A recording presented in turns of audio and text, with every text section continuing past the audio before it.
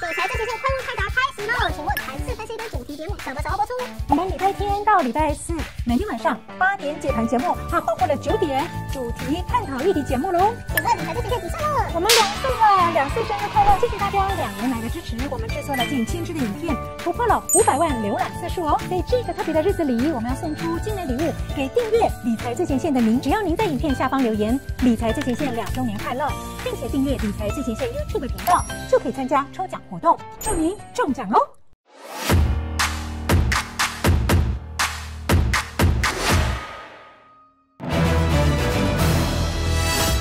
欢迎收看《理财最前线》。美国总统大选倒数计时，你有没有想过这个问题？因为候选人提了一些的税改，企业税啦、跨国税、资本利得税等等，到底谁的冲击比较大？对美国经济的影响层面呢？想知道答案，为您邀请到元大投顾专业资深协理陈森林来到现场。森林你好，瑞恩好，大家好。森林问一下了哈，总统大选倒数计时，现在怎么去观察这些税改政策呀？确实，我们在上一次节目跟大家分析到川普的一个减税政策，乃至于他对海外的关税政策的影响，我想这是投资人最关心的一个部分。那在这一次呢，我们大家来分析啊贺锦丽的一个部分，尤其是他跟川普第一次辩论完之后，声势可以说是扶摇直上。那想必他未来上台之后，他的这些加税的政策，乃至于设伏的一个政策。能不能够如期的一个上路呢？那对美国的经济乃至于股市有什么影响？我想这应该是投资人最关心的部分。所以，我们今天就来看看他的政策主张有哪些，这些政策接下来上路的过程当中会遇到哪些阻碍，乃至于对于美国的经济以及股市中长线的影响如何？好，赶快看一下哈，贺锦丽的税改主张，美国国会的选情现在该如何解读？帮大家说明清楚喽。我想大概贺锦丽相关的一些政策的主张，大部分都是呃承接现任总统拜登相关的政策的一个主张。那其中有关于这个税改的部分，可能是投资人最关心的哈。那为什么？因为这影响到未来的企业获利，乃至于对可能企业未来的一个资本支出以及啊长期的一个发展有很大的影响。那所谓的税改，基本上大概有三项的主张，一个当然是企业税的部分，那另外一个是有关于这个富人税的部分。那第三个就有关于所谓的资本利得税的一个部分。那这一部分，我想大概从它的一个主张上，我们可以看到，就是有关于企业税的部分，他希望把目前的企业税率从目前的大概二十一个 percent，把它调回到二十八。那再调回到二十八，我想大家可以想想看哈，今年的一个企业获利哈，我们推估大家可能会超过三点三兆美金。那假设从现行的二十一个 percent 把它调到二十八个 percent 来看的话呢，那一年企业大概要多缴将近一千亿的税。嗯，那这一部分我想大家都对企业的未来的获利影响，我们推估好将近有三个 percent 的影响。哇，那这点可能大家就担担心，就是说，那接下来美股在明年表现还能不能够像过去这一年来这么的一个亮眼？所以说我们可以做从大概去年开始，我们在听到什么？哎，巴菲特好像开始在啊做一些部位的调整。那为什么？因为他们都想到说，哎，如果是拜登连任，或者是现在的贺锦丽啊来这个上海之后，那如果说他的一个税改的相关的政策进行了一些变化之后，那么获利比较高的公司是不是有可能会缴比较多的税呢？那这部分想必是他们短线或者中长线的一个考量的很重要的因素。了解了，那资本利得税是什么？从过去这几年以来，其实呃，川普执行了减税政策之后，那很多这有钱人啊，其实都赚了很多钱。那基本上把钱投入到这个资本市场里面，或者是比方说股市或债市，其实赚了非常多的钱，但是他并没有把这些获利把它实现出来，他就一直把它藏在股票市场里面。那拜登打算就是说，假设现在还没有实现的资本利得，是不是要来从里里面的课一些税，拿来做一些财富的重分配这样的一个操作？所以这样的形式其实对投资人来讲，可能有更大的一个考量，就是说，哎，那我接下来如果说面临到这样的一个税改之后，我的呃这个所谓的资产的配置的部分，是不是要再重新做一些调整，来避开这个比较高的一个税率？但是你这会不会太不合理了？观众朋友，您看一下喽，没有实现的资本利得将被课税。我买五十，现在呢？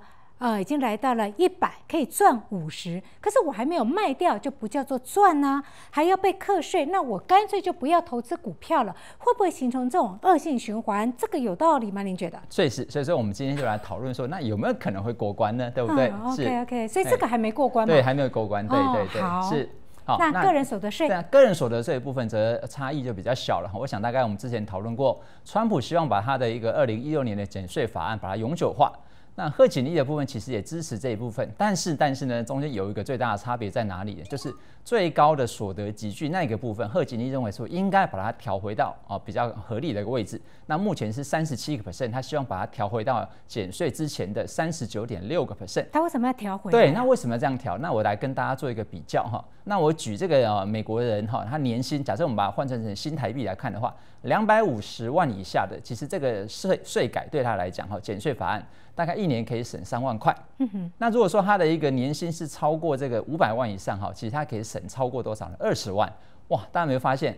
这个两百五十万跟这个五百万，其实所得大概只差了一倍啊，但是是税改的一个哦，这个能够省的这样的一个金额，其他差了多少？将近快六倍这么多。因为他把那个所得税的集聚给拉高，确实，更有钱的或第三、第四有钱的，不用像前面只有三十七的集聚缴那么多嘛。确实，确实，懂了，懂了。所以说，以这样的情况来看，如果说以目前美国的一个呃所得的一个贫富差距这么大的情况来看的话，那像这几年一个资本市场又呈现一个暴涨的一个。情况，那想必这些有钱人可以可以说是赚了更多钱，那他是不是应该来多负担的一些这个政府的一个开销呢？嗯，是的，当然哈，这个贺锦丽的税改主张，不过这次不是只有总统大选，连国会大家都在意，因为也要选嘛。确实，嘿，所以说其实我们这次可能在关心哈，大家都把焦点摆在这个两个总统候选人谁会当选这件事情上。但是毕竟这些相关的法案都要经过国会来表决才能够通过，所以说基本上我们认为哈，我们与其更关心这个谁来当选，可能更关心国会由哪一党来主政，那就会决定这个后续的一个政策的一个走向。大家可以看到这个右图的一个上面哈，这是目前参议院最新的选情哈。那目前的话，如果说以这个选前来看的话，民主党大概是掌握参议院是五十一对上四十九席哈，共和党席是小输两席。但是呢，我们可以看到目前最新的民调的结果来推论的话，蛮有可能会呈现一个翻转，也是怎么样呢？共和党可能反而会在掌控这个参议院。那我们都知道参议院大概有一百席，但是呢，基本上所有的重大法案都要参议院绝对多数才能够通过。嗯，所以说如果说这个贺锦丽当选，但参议院却掉了哈，反而变成共和党来这个呃这个掌控的话呢，那隐含一件事就是说，这个税改哈要通过的几率哈看起来可可能是有点渺茫，因为。我们都知道，共和党其实是比较反对加税的，哦，所以说如果说共和党真的掌握了这个参院的话，那么可预见就是相关的税改案要通过难度是非常的高，所以这或许是我们看可以看到，就是说，哎，前前一阵子这个贺锦丽这个他的一个声势上扬之后，其实对市场的影响好像没有冲击这么大，原因就是国会的部分的选情变化似乎并不是那样的一个剧烈。讲到重点了，来三连请上来哈，跟您报告，总统的税改啦等等政策到底能不能推啊？还是要国会说的算，好，参众两院、参议院、众议院、下议院、上议院。可是如果照你这份资料来看，我要个答案就好，好像共和党都占多数哎。确实。那如果今天总统是民主党，结果国会参众两院都是共和党，那不就贺锦丽的案子很多都过不了关吗？对，但是中间有一个美感啊，什么叫美感哈？因为这一次的一个税改案里面，大家可以看到后面这两个，对，其实是新的一个税。好，那上面这个个人所得税的部分，其实是二零一七年川普所推的税改，它会在二零二五年底就到期，它会自动回到之前的一个税率的一个部分。哦，所以说这个税改案里面，我觉得。哦，投资人比较担心的部分，其实反而是下面这两个哈。第一个是企业的一个所得税案，其实它已经变成永久减税法案了。嗯。那资本利得税的部分是新的一个要推的一个税率的一个部分。所以这一份其实要经过这个参众两院多数席次来赞成，才有才有可能会通过。如果以过去历史经验来看，这个加税对美国经济会不会带来冲击？确实哈，过去美国有没有加过税？当然有。好，比方说雷根时代的一个减税，到了这个克林顿上来之后，就把税率调回来了。那我们再回想一下，小呃小布希总统呃上任的时候也推了减税政策，但是民主党的奥巴马上来之后，马上又把它恢复到正常。为什么？因为他们推的一个减税政策都是一个有时效性啊，大概是十年左右或是八年左右就到期了。到期之后，其实税率就很快恢复到之前的一个水准。那真的对美国经济冲击有这么大吗？哈，这是投资人最担心，因为经济不好，股票就不好，对呀，对不对？那如果说我们举一个例子哈，克林顿时期哈，在一九九三年哈，他上任之后就推了一个希望把这个税率恢复的哦，这个 O B R A 的一个法案哈，也就是希望这个哦用预算案来协调这个减啊减税恢恢复的一个法案。那我们来看当时的美国经济表现，真的有变差吗？哈，我们从这个左上图来看，这是美国的一个经济增长率跟它的一个私人消费的成长率哈，大家可以看到这个灰色的柱状图，或者是美国的经济增长率，大家可以看九三年之后，大家没发现。税率加回来之后，大家有没有发现美国经常率有没有很显著的下滑？大家有没有发现，哎，其实在呈现稳定，甚至是逐年上升的状况。GDP 往上，对，甚至它的还呈现一个加速成长。那我们计算过，这平均这呃六到八年，美国经常率还高达四个 percent。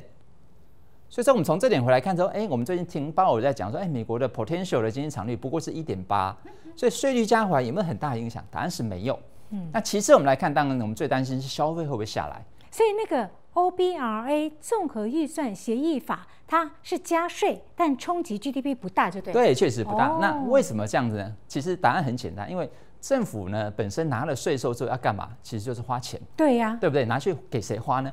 哦，把富人的钱拿来干嘛？给穷人花，它呈现一个补贴的一个过程。所以还有包括政府支出啊。对对对，没有哦错。所以我们可以从经济学理论跟大家讲，请问有钱人赚到一块钱花的多，还是穷人赚到一块钱花的多？答案当然是是穷人，为什么？嗯因为他们的收入比较少。对对，那有钱人赚到钱之后呢，怎么样？很多是存起来的。嗯，所以如果说我们回到就经济的角度回来看呢，哎，这个加税法案反而怎么样，让政府手上呢更充裕？对对那怎么样呢？可以去做更多相关的补贴嗯跟建设。所以说，我们可以从当当时的结果的可以看到，九二年的时候，在克克林顿上台的前一年，美国政府的一个呃赤字占 GDP 比重，其实大家可以看到超过三个 percent。但加税之后，景气改善，大家有没有发现政府的缺口反而怎么样？哎，在收敛了，甚至税收哎增加啊对，没错，景气好，税收就会增加。那更重要什么？大家可以看，从九七年开始，反而变成一个政府有盈余的状态，这可能是超乎大家的预期。所以说，这样的情况到底对美国经济来讲是好的，对不对？那我们来看对股市的影响，大家来看一下哈。过去这几任总统哈，大家可以看，雷根啊、是减税，克林顿加税，小布希呢怎么样又减税了，奥巴马又加税，川普又减税了哈。那接下来是拜登的第二任哈，这贺锦丽准备来接棒了，可能又会加税。但我们来看对美股影响长什么样，大家来看一下，哎，这个雷根减税的时候，哎，美股表现确实不差，但克林顿加税怎么样？哎，美股表现更好，也涨对不对？了对，涨了两百个 percent，哇，八年涨两百两百个 percent，可以说标股可言，嗯对不对？哦哈、但是大家可以可以看到，小布希减税效果就不好了，对不对？嗯这美股反而是下跌的哈。但大家来看奥巴马加税的时期呢，他八年执政，美股还涨了一点七倍。所以说，我们从过去的历史经验来看，这个加税真的对美股来讲是一个不好的情况吗？答案好像不见得。未必啦。对，确确实是未必。那不过我要帮小布希讲讲话。二零零八年美国次贷风暴啊，所以那时候股市当然会大跌啊。当然是嘿没有，所以说他其实遇到了很多问题。好，所以说真正的问题在什么地方？还是要回到美国的一个产业、美国的景气的循环。嗯那以及这个税收上来讲，其实是是不是呈现一个怎么样？拿这个税收来还债，还是增加支出呢？从目前来看，可能是进一步增加支出来提振这个美国的经济成长动能。回到经济本质，对，没有错。哦，如果钱在滚到市场当中，对他们的消费带来动能，投资也有加分，经济就起来了。没有错。所以说，我们从过去的历史来看，确实是如此的一个表现。好，感谢森林，非常谢谢您了，请回座。倒数计时，美国总统大选十月五号就知道到底是川普还是贺锦丽选上。上次呢讲了川普，今天来提到贺锦丽。贺锦丽的税改三次件，企业税啦、跨国税、资本利得税等等，个人综合所得税还比较简单，但资本利得税跟企业所得税这比较复杂，得要国会通过。可刚刚森林特别提到了，国会现在选情来看，好像是共和党占多数，因此呢，总统候选人政策能不能过关，还得要国会通过说的算喽。那怎么办呢？请往下看。很紧张吗？很担心？减税经济就一定好，加税经济就一定差吗？未必。感谢森林这张图表，有减税有加税，结果呢，纵观来看，你看股市多数是涨的，很简单。如果今天我是降税的话，减税。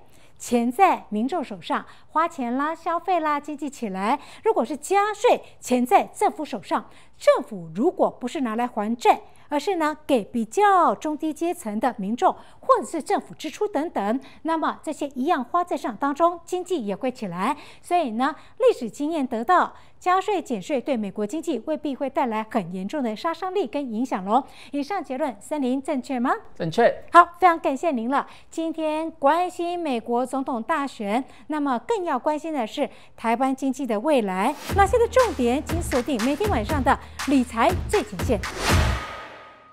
本公司与所推介分析之个别有价证券无不当之财务利益关系。本节目资料仅供参考，投资人应独立判断、审慎评估并自负投资风险。诈骗猖獗，所有要求加入胡瑞涵赖群组都是诈骗，请拨打一六五反诈专线求证。